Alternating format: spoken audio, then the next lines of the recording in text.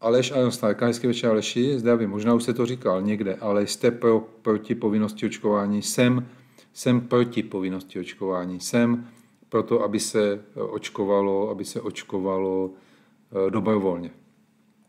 Dobrovolné očkování, pro mě samozřejmě. A teď ale, a to je to A, samozřejmě toto dobrovolné očkování, a jsem pro eh, opatření státu, a teď se nebavím třeba o covid pasu, protože to je rozhodnutí Evropské unie. Tam musíme řovat na, na, na Evropské unii. Ale jsem pro opatření, které tady předvádí vláda. Že některé ty opatření jsou naprosto nesmyslné, nejsou vysvětleny. A to je to, co my třeba bavíme se o covidu a bavíme se vůči vládě. Nedostatečně vysvětlený. Nedůvěra občanů vůči vládě, že tomu nikdo nevěří těm opatřením, které děláme. Že jsou nesmyslný. Takže určitě dobrovolnost, a udělat celou revizi všech opatření, které tady máme a který řádně vysvětlitelný pro občany.